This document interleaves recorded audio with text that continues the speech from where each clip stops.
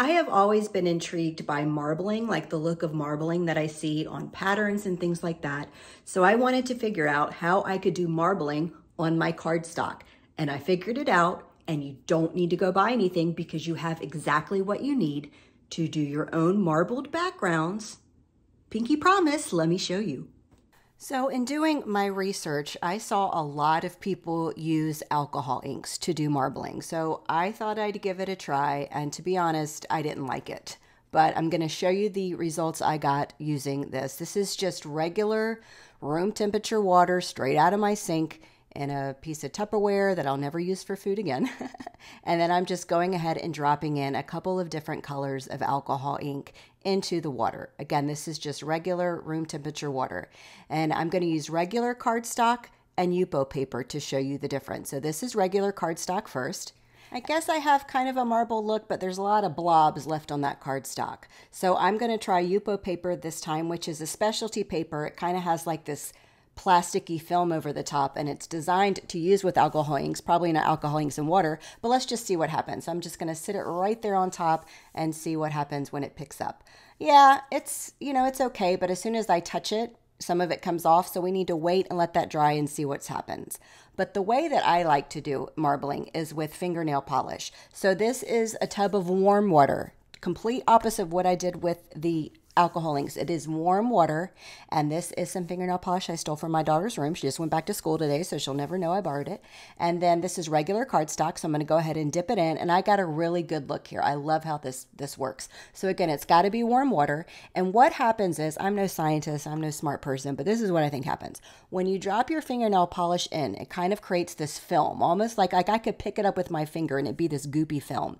So once you add your fingernail polish in there, as long as it's warm water, and then dip your paper, whatever your vessel is that you're using, it's going to pick all of that up. Now, I have done this exact technique with mugs and I made my own marble dipped mugs. I will link to the description in the video below. It's an old video, but the technique still works. It's just fingernail polish and warm water. I mean, this is like the cheapest way ever to get some really cool looks. So I'm just going to continue to drop in various colors of polish. Um, this time I tried to swirl it with my straw, but you can't do that because it will pick up all the goop in the straw. So don't mix it, don't swirl it, don't do anything. Just add your fingernail polish, dip in your cardstock. You can dip in the whole piece of paper, half a piece of paper, whatever. I'm switching between regular cardstock and Yupo paper because I had already pre-cut it uh, when I was going to use the alcohol inks, but then decided I don't like the alcohol ink look. Uh, so here I am again, just add colors. It doesn't matter. They really don't even mix together. It's pretty cool to watch it in the water. And uh, here I am. I'm going to go in with two colors, like in from the side. And look at, where'd that purple come from? I don't know, but it's pretty stinking cool. So I'm going to set all this stuff off to the side to dry. And once it's dry, I'll come back on camera and show you the results. I'm going to do one more final flick of the water, I mean of the fingernail polish into the water. And then I'm just going to pick all that up. Look at it just comes right up. Now, again, if you try to stir it, it's going to turn into a goopy mess.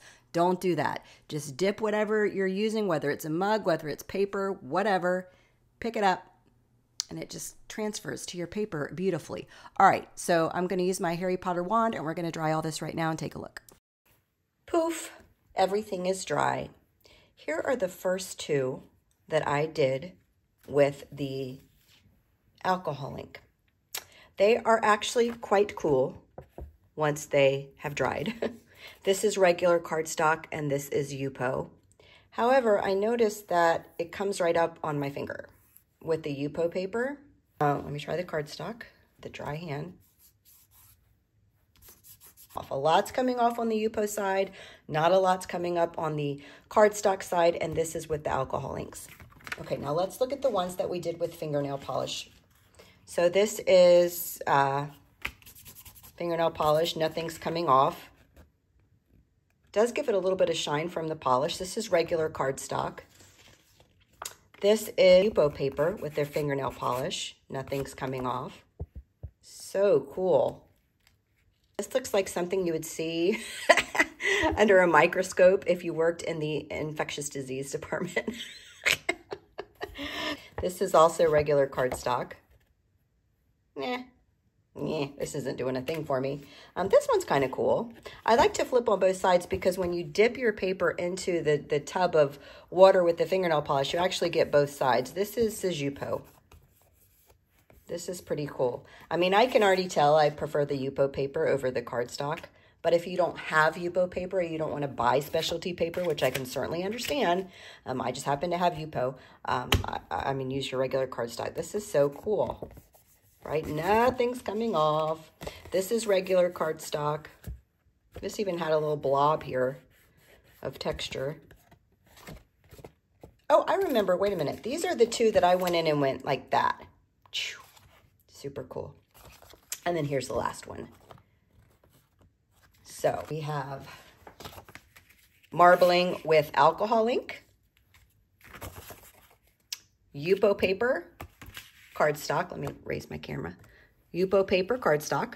This is all regular cardstock.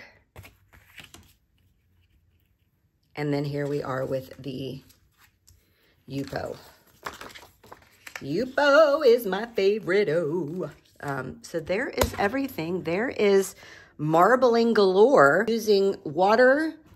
You can either try alcohol inks or fingernail polish. I can take all these backgrounds now and turn them into cards. Now, I might die cut some things. I might, like, I don't really particularly care for this one very much, so I might just die cut a word. Maybe I'll save this for a video. Maybe my next, that's what I'll do. My next video will be, what the heck do I do with all this? I can do that in the next video. If I get enough comments and thumbs up, that will be my very next video. So yay, I've got a plan. So I hope you enjoyed today's video on marbling using what you've already got. This will make some fun backgrounds, I promise. How do I know? Because I'm going to do it in the next video. I'll see you then.